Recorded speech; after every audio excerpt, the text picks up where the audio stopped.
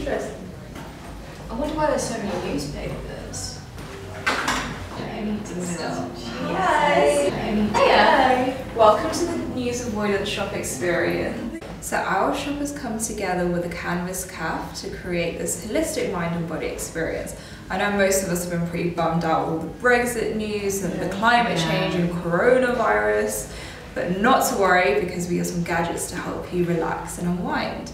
So any themed dessert that you get off the menu comes with a sample of our bespoke news avoidance products. Oh, cool.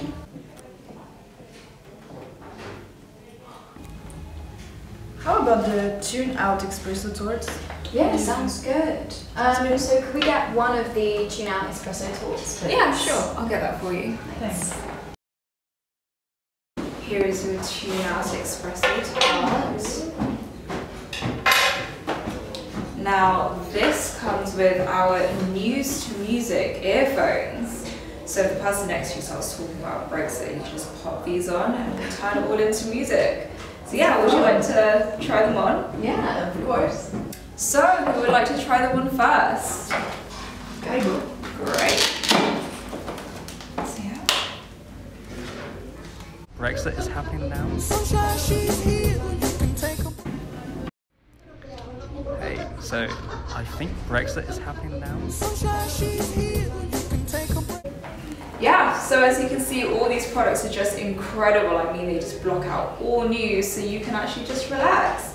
So there's more at the pop-up store which you can check out later if you guys like.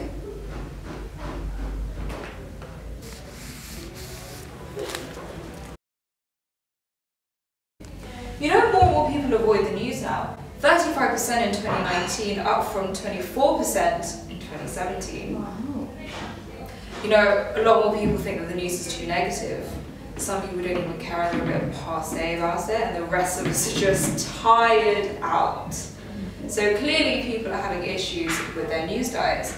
So this whole experience was to provoke thought on the news avoidance phenomena and our personal news diets. That's nice. Actually, I have some news cards, and it would be great if you guys could ask each other some questions with them and see what you guys think. yeah, that sounds good. Let's do that. How often do you read the news? I mean, you know, I like to keep up to date with the news, but sometimes I do think I read it a little bit too often. Wow, I don't really bother with the news. Yeah, because I think it's too negative.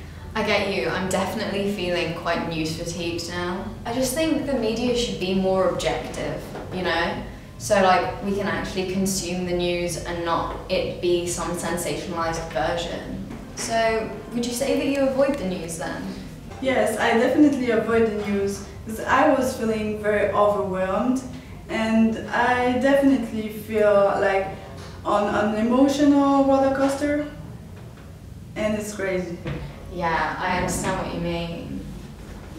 I guess, like, what role does the news play in your life?